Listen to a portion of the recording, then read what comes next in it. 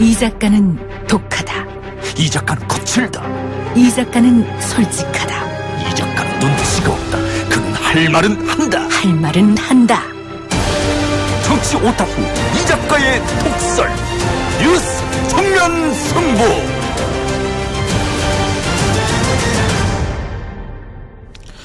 일본이 우리를 수출 심사 우대 대상에서 제외하면서 우리 경제가 큰 도전에 직면했다 이런 이야기가 나오고 있습니다. 안보 상황도 불안이 상존하고 있죠. 북한이 오늘 새벽 또 발사체 두 발을 쏘아 올렸는데 북한의 의도는 무엇인지 지소미아 파기냐 유지냐 이 문제는 어떻게 판단해야 하는 건지 전문가 의견 들어보겠습니다. 한동대 국제지역학과 박원건 교수 나왔습니다. 어서 오십시오. 네, 안녕하세요. 북한 이야기부터 해보죠. 북한이 오늘 새벽 또 단거리 발사체 두 발을 쏘아 올렸는데 오늘 발사체가 단거리 탄도미사일인지 북한이 이야기한 신형 방사포인지는 우리 군이 분석 중에 있고요. 일단은 왜 다시 이런 일을 벌였는가. 그 저번에 며칠 전에 그 본인들이 이제 방사포라고 했던 거. 예. 그때 내가 제가 전문가 몇 명한테 물어봤더니 금명간에 또 도발할 것이다. 다들 이렇게 얘기를 해주셨거든요. 예. 어떤 차원일까요? 뭐 몇 가지 이유가 있는데 가장 큰 것은 지금 북한이 말씀하신 것처럼 지속적인 이런 식의 발사를 하는 거를 보면 이거는 그간 시험을 못했던 그 신형 개발한 무기에 대한 시험을 한다라고 생각을 합니다. 음. 특히 오늘 그 발사한 것의 시간을 보면 새벽에 발사를 했거든요. 예. 새벽 2시 59분이랑 3시 23분. 이렇게 새벽에 발사를 하는 것을 보면은 그리고 지난 7월 31일 일단은 발사한 그 발사체 같은 경우는 비가 오는 우천시에서 발사를 했습니다. 예. 어, 신형 그 무기 체계를 최종적으로 배치하기 전에는 다양한 전장 환경을 테스트하게 되죠. 그러니까 예를 들어서 비가 온다든지 아니면 밤에도 이것이 작동하는가. 그러니까 그런 측면에서 볼 때는 일단 이것을 신형 무기에 대한 어, 그간 하지 못했던 그런 시험을 하고 있다라고 생각이 되고요. 예. 더불어서 미국한테 보내는 메시지가 분명히 있는 거죠. 지금 실무회담의 가능성이 뭐 완전히 없지는 않지만 어쨌든 회담이 다시 진행이 되면 협상에서 이런 그 미국을 압박해서 북한이 원하는 그런 어, 전향적인 입장을 미국이 갖고 오도록 그렇게 지금 압박하는 효과도 보고 있다라고 생각을 합니다. 예.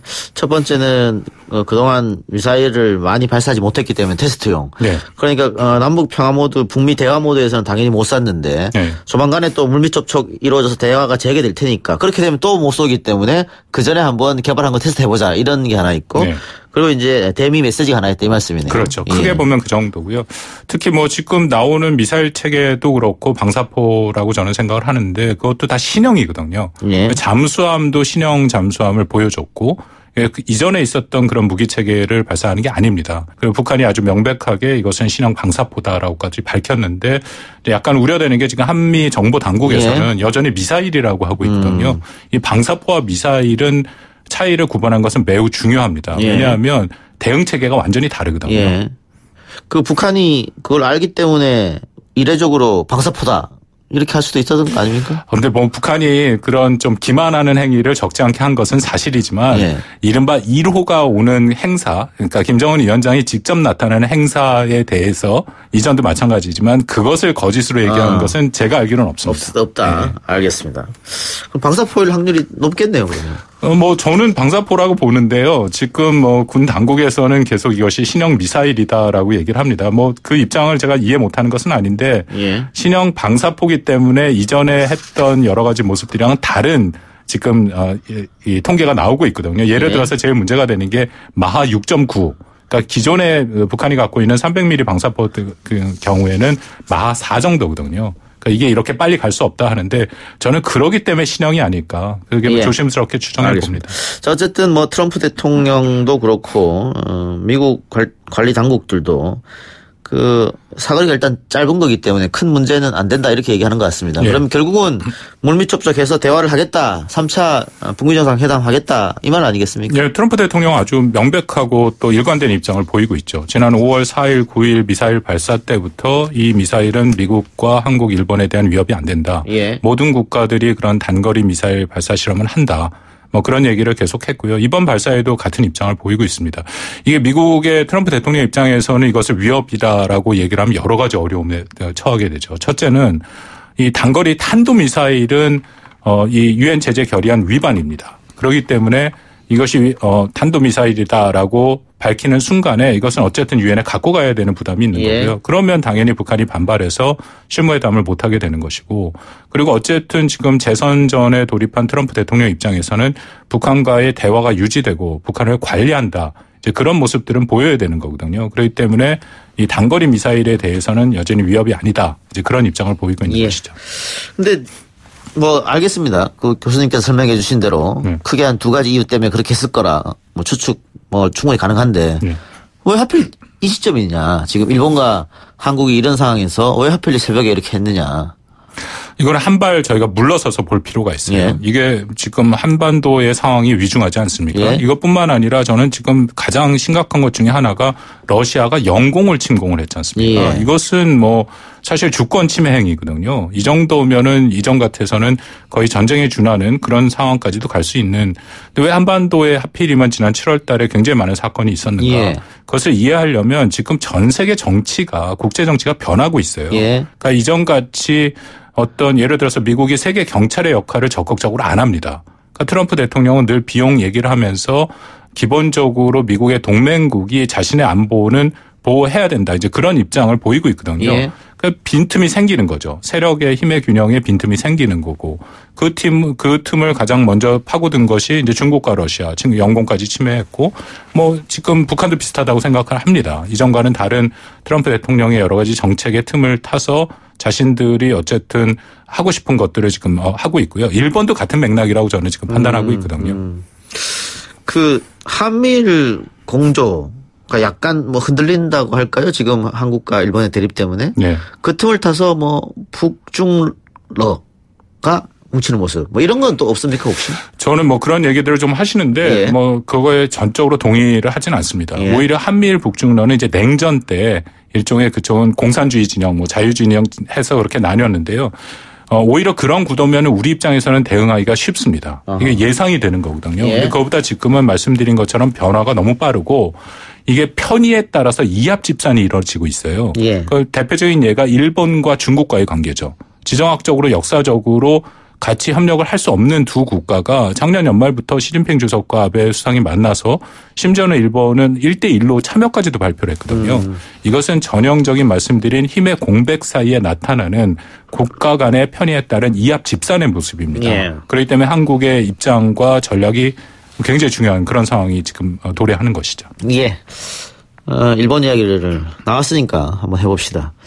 자, 오늘 결국은 우려하던 대로 일본이 화이트리스트에서 우리를 제외했는데, 어, 일본에서는 뭐 이야기하고 있지는 않습니다만 결국은 강제징용 재판 때문에 이렇게 된 거 아니겠습니까? 예. 근데 그것만 있느냐 꼭 다른 뭔가 더 큰 목적이 있지 않느냐 일본에 아, 또 아베 어떻게 보십니까? 그것도 제가 말씀드린 큰 맥락에서 지금 어, 질문하시니까 보면은 일본도 그 틈을 이용하는 것이죠. 일본의 지금 외교의 아베의 외교의 정책을 보면 지금 그 미국이 약간 한 발 물러선 틈을 타서 일본이 다시 보통 국가화 그들이 예. 원하는 전쟁을 할 수 있는 국가가 되는 것이고 일본의 이 영향력을 넓히려는 모습은 분명히 보입니다. 예. 뭐 기억하시겠지만 이란까지 갔었거든요. 도대체 일본이 이란을 왜 갔을까 하는 걸 생각을 해보면 이란에 대해서 다시 경제 제재가 되고 있는데 일본이 가장 필요한 것은 원유입니다. 그 원유의 수입선은 언제든지 확보를 해내야 되기 때문에 좀 중장기적인 그런 포석으로 이란까지 갔다라는 거고요. 말씀드린 것처럼 중국과의 관계도 일단 1차적으로 우호적인 상태로 만들어 놓고 러시아와도 관계를 지금 유지하고 있는 예. 그런 모습들을 보이고 있는 것을 보면 지금 일본이 나름대로 그간 특히 뭐 이거는 사실 아베 신조의 그런 어떤 어 하나의 전략이죠. 큰 전략이죠. 그래서 일본을 이전과 같은 세계 강대국으로 올려놓겠다. 뭐 심지어는 유엔 상임 이사국의 그런 모습까지도 노력이 있다 하는데 결론적으로 말씀드리면 이런 방법으로는 절대로 안 됩니다. 예, 예. 네, 일본이 지금 45년 이후에 사실 자유무역주의에 따라서 자신들이 이만큼 부강해진 건데 예. 그 자유무역주의의 기본적인 원칙을 해하는 지금 행동을 하고 있지 않습니까? 비관세 장벽을 높인다라는 것은 예. 명백한 세계의 그 경제의 원칙과 규범 WTO에 위반을 하는 그런 행위거든요. 그러니까 이런 행위를 하면서 세계 지도 국가의 대열로 가겠다. 것은 저는 뭐 전혀 맞지 않는 그런 행위다라고 생각합니다. 그러면 자신들의 영향력을 넓히기 위해서 한국의 영향, 영향력이 올라가면 안 되니까 혹은 한국의 경제력이 더 커지면 안 되니까 이런 것도 작용했을까요? 뭐 단기적으로 보면 예. 일단 아베 신조가 노리는 것은 헌법의 개정이죠. 예. 평화헌법을 뭐 일부라도 개정해서 자위대를 공식적으로 인정해서 전쟁을 할 수 있는 국가가 되려고 예. 한다. 그러려면 전쟁과 국, 그 군이라는 것은 주변 안보 환경이 불안해야 국민에 대한 설득이 되는 거 아닙니까? 아하. 오늘도 뭐 아베가 그런 얘기를 했습니다. 사실은 예, 안보에 예. 문제가 있다. 그러려면은 한국과 또 북한과의 이런 관계의 모습들, 북한의 핵 문제, 예. 또 한국 내에서 있는 여러 가지 이 반일 감정이라든지 그런 것이 고조될수록 아베의 신조 수상 입장에서는 자신이 원하는 그런 목적을 성취하기가 쉽죠. 북한과 남한이 계속해서 대치 상태에 있는 것이 아베한테 유리한 거네요. 그, 그 부분은 좀 뭐 복잡합니다. 왜냐하면 네. 북한에 대한 이 미사일과 갖고 있는 위협은 일본도 위협을 느끼고 있는 것은. 사실이거든요. 예. 그러니까 여러 가지 생각을 하고 있죠. 근데 아베 신조 수상은 또 북한과의 관계 개선도 하려고 하지 않습니까? 김정은은 아무런 조건 없이 만나겠다고 지금까지도 계속 얘기를 음. 예. 하고 있거든요. 그러니까 이것이 단순하지 않습니다. 제가 말씀드린 것처럼 그때그때 이 편의에 따라서 이합 집산이 이루어지기 때문에 어떤 하나의 일관된 목표를 갖고 국가가 움직이고 있다. 그렇게 보면 좀 어렵고요. 여러 가지 이 복합적인 요인에 따라서 움직인다. 그렇게 놓고 한국이 지금 대응책을 만들 필요가 있죠. 예. 관련해서 아세안 지역 안보 포럼 여기서 그 한국과 일본의 에, 외교부 장관들이 만나서 이야기를 나눴습니다만 뭐 결렬됐고요. 네. 오늘 저녁에는 한미일 외교 장관들이 만난다. 네. 그래서 미국이 중재에 나서지 않느냐. 그런데 지금까지 이야기 들어보면은 미국이 여러 차례 이야기를 했었음에도 불구하고 일본이 받아주지 않았다. 이런 이야기가 많거든요. 오늘 뭐 우리 대통령 일종의 담화에 보면 뭐 미국이 분쟁 중지 협정이라고 하는 거 standstill agreement라는 것을 사실상 한국과 일본에게 제안을 한 것이다라고 얘기를 한 셈이죠. 일본에서는 부인하고 있었고 맞습니다. 그런 의미에서는 일단 확전하지 말자라는 것이 미국의 중재 아닌데 예. 백색 국가 리스트에서 우리를 제외한 것은 확전의 의지가 분명히 있는 것이고요. 근데 아까 말씀하신 것처럼 지금 한미일 외무장관 ARF에서 오늘 저녁이죠. 한국 시간으로 6시 반인가 시작되는데 그 전에 폼페이오 장관이 따로따로 강경화 장관과 고노다로 외상을 만납니다. 만나고 나서 한미일이 만나거든요. 조심스럽지만 이게 저는 마지막 어떻게 보면은 또 이 기회라고 생각을 할수 있습니다. 왜냐하면 지금 미국이 백색 국가의 리스트에 제외를 하긴 했지만 이게 앞으로의 과정이 좀 남아 있거든요. 일단 공포를 해야죠. 근데 4일 내에 공포를 해야 되기 때문에 이 공포하는 과정을 좀 지연하거나 미룰 수 있고 예. 그 다음에 21일 이후에 시행을 하게 돼 있습니다. 그것도 좀 미룰 수가 있죠. 그래서 정말 그냥 바라기는 우리 입장에서 이 중재안을 여전히 폼페이오 장관과 미국이 가져가서 일본이 그것에 대해서 잠정적으로 합의를 한다면 한국 입장에서는 좀 협의를 할 여지가 예. 생기는 거죠. 그러니까 뭐 오늘 결정이 났다고 하지만은 8월 말에 시행이 되니까 그때까지는 어쨌든 시간이 좀 있는 거 아니냐. 그렇죠. 이 말씀이네요. 예. 자, 그런데 우리 그 한일 군사 정보 보호 협정 이거 판단하는 것도 지금 8월 말로 예정돼 있단 말이죠. 예. 어떻게 해야 될 것 같습니까? 저는 이거를 그 한일 군사 보호 협정이라는 것은 저는 유지해야 된다라고 주장하는 사람 중에 하나인데요. 음. 예. 일단 잘못 알려진 게 너무 많습니다. 이게 한일 군사 보호 협정이라는 것이 어떤 비밀을 창고를 한국과 일본이 열어놓고 그 예. 안에서 가져가는 게 전혀 아니거든요. 예. 그러니까 예를 들어 이런 겁니다. 북한이 미사일을 쐈어요. 근데 그 정보에 대해서 우리 한국이 필요하면 그 정보를 북한한테 일본한테 요청을 하는 거죠. 예. 일본이 뭐 가- 미사일 그 탐지 능력이 있으니까 달라.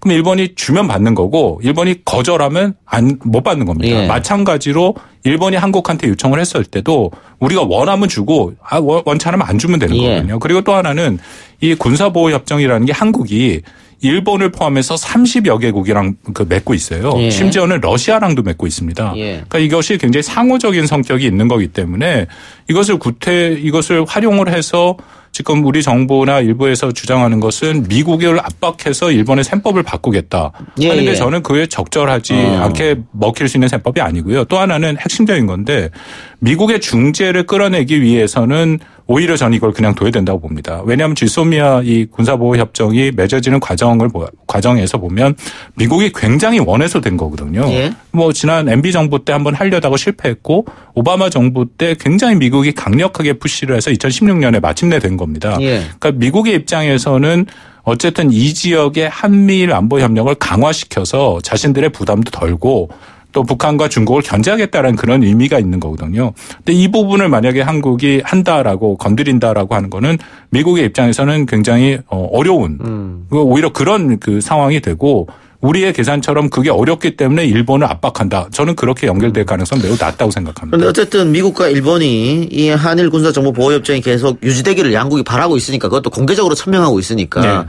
그렇다면 우리가 마지막에 유지는 하더라도 네. 그 말일까지는 결정나는 말일까지는 이걸 카드로서 계속 파괴할 수 있다라는 걸 말만 하는 건 어떠냐. 그러니까 저는 그게 적절치 않다고 얘기를 하는 것이요. 일본이 이게 영리하게 움직입니다. 예. 이미 쥐소미아와 군사보호협정은 자기네는 연장하겠다 얘기했고 또 하나는 북한 비핵화에 대해서도 한국과 협력하겠다고 얘기를 했거든요. 예.